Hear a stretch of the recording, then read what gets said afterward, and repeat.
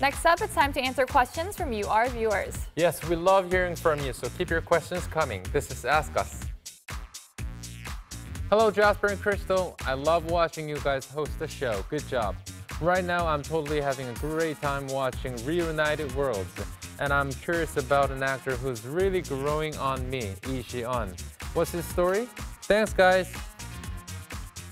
Thank you very much for enjoying our show, and I guess you became a fan of Lee Si-eon. Well, I'm not surprised. Let us give you the details about Si-eon.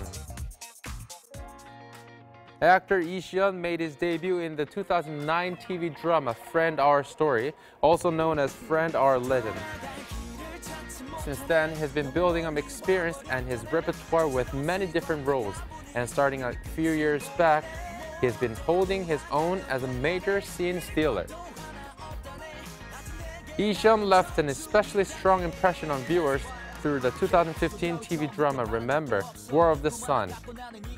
Si-eon took on the role of the right-hand man of Nam Gyu-man, the wealthy and twisted antagonist played by actor Nam Gong-min. Lee Si-eon's character suffered a lot of degrading remarks and blows, and the actor pulled off the performance like a champ. Afterwards, we saw him in popular dramas like W and Man to Man as well. Currently, Si-eon is acting out the part of actor Yeo Jin-goo's friend in the TV drama Reunited Worlds and is doing a fantastic job. We'll be rooting for the actor and try to keep you posted on his future endeavors.